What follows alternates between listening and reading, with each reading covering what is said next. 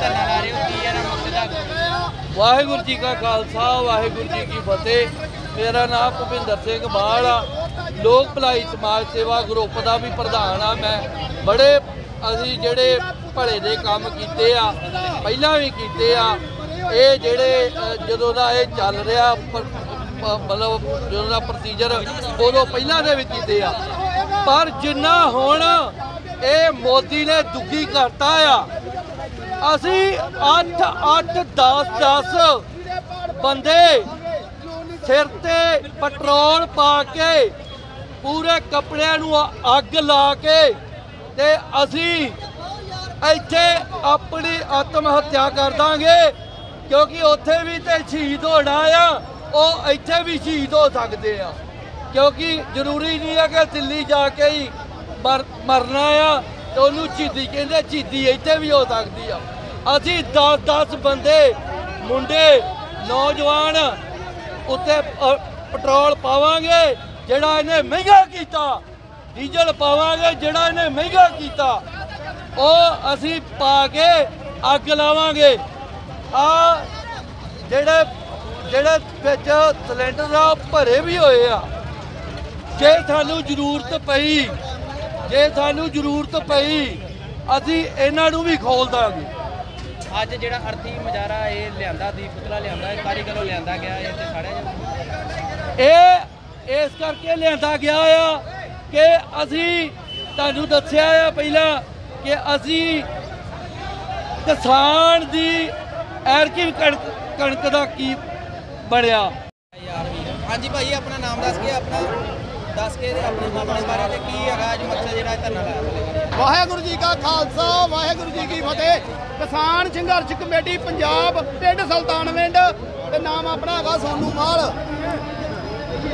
ਅਸੀਂ ਵੀਰ ਜੀ ਜਿਹੜਾ ਅੱਜ ਧਰਨਾ ਲਾਇਆ ਵਾ ਕਿਸਾਨ ਸੰਘਰਸ਼ ਕਮੇਟੀ ਵੱਲੋਂ, ਸੰਯੁਕਤ ਮੋਰਚੇ ਦਾ ਸਾਨੂੰ ਸੱਦਾ ਆਇਆ ਸੀ। ਇੱਕ ਤਿੰਨ ਕਾਲੇ ਕਾਨੂੰਨ ਤੇ ਰੱਦ ਕਰਾਉਣ ਵਾਸਤੇ ਅਸੀਂ ਡਹਿ ਜਾਂ ਸੰਘਰਸ਼ ਕਰਨ।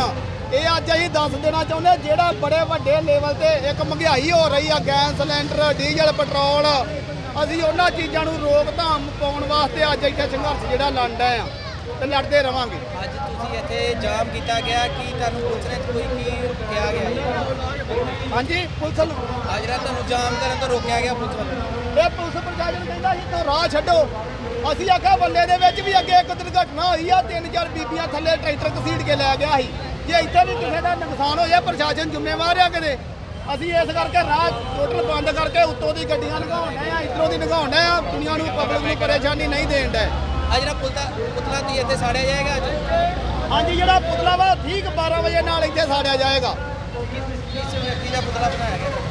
ਇਹ ਹੀ ਮੋਦੀ ਮੋਦੀ ਦਾ ਬਣਾਇਆ ਗਿਆ ਆ। ਪ੍ਰਾਈਮ ਮਿਨਿਸਟਰ ਪ੍ਰਧਾਨ ਮੰਤਰੀ ਦਾ ਪੁਤਲਾ ਬਣਾ ਕੇ ਇੱਥੇ ਲਿਆਂਦਾ ਗਿਆ ਜੀ। ਫੱਟੇ ਦੇ ਉੱਤੇ ਪਾ ਕੇ ਲਿਆਂਦਾ ਜਿਸ ਤਰ੍ਹਾਂ ਮਰੇ ਬੰਦੇ ਨੂੰ ਲਿਆਂਦਾ ਜਾਂਦਾ।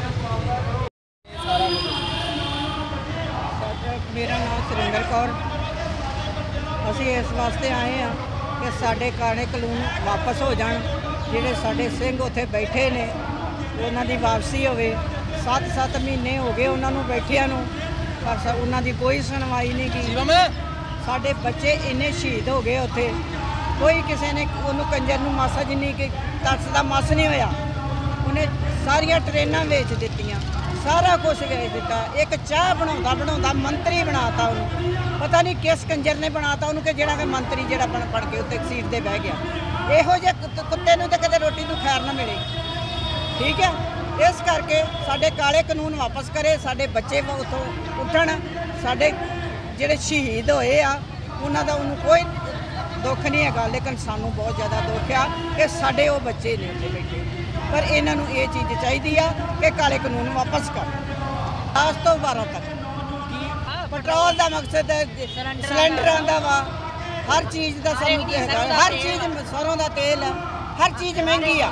ਮਕਸਦ ਇਹੋ ਹੀ ਆ ਕਿ ਕੋਈ ਚੀਜ਼ ਨਹੀਂ ਸਸਤੀ। ਉਹਦੇ ਵਿੱਚ ਹਰ ਚੀਜ਼ ਆ ਜਾਂਦੀ ਆ। ਦਾ ਸਾਰਾ ਬਾਈਕ ਹਿੱਲ ਗਿਆ। ਠੀਕ ਹੈ ਪੂਰੀ ਰਸੋਈ ਹਿੱਲ ਗਈ ਆ। ਠੀਕ ਹੈ ਕਿ ਨਹੀਂ? ਅਸੀਂ ਜਿਹੜੇ ਤੇ ਹੁਣ 200 ਰੁਪਏ 100 ਰੁਪਏ ਲੀਟਰ ਤੇਲ ਸੀ ਉਹ 150 200 ਰੁਪਏ ਨੂੰ ਕੀਤਾ। ਜਿਹੜੀਆਂ ਜੱਟਾਂ ਦੀਆਂ ਜਿਹੜੀਆਂ- ਚੀਜ਼ਾਂ ਵਾ ਬਹੁਤ ਉਹ ਸਸਤੀਆਂ। ਤੇ ਜਿਹੜੀਆਂ ਮੋਦੀ ਸਰਕਾਰ ਤੋਂ ਮਹਿੰਗੀਆਂ ਦੱਸ ਨਾ ਸਾਰੀਆਂ ਠੀਕ ਹੈ? ਇਦਾਂ ਚੀਜ਼ਾਂ ਨੂੰ ਅਸੀਂ ਲੈ ਕੇ ਇੱਥੇ ਆਏ ਹਾਂ। ਸਾਡੀਆਂ ਪੂਰੀਆਂ ਹੋਣੀਆਂ ਚਾਹੀਦੀਆਂ ਇਹ ਸਾਡੀਆਂ ਜਿਹੜੀਆਂ ਮਹਿੰਗਾਈਆਂ ਨੇ ਇਹ ਭੱਤੇ ਨੇ ਸਭ ਇਹ ਬੰਦ ਹੋਣੇ ਚਾਹੀਦੇ ਆ। ਜੋ ਰੇਟ ਪਹਿਲਾਂ ਚੱਲ ਰਿਹਾ ਸੀ ਸਾਨੂੰ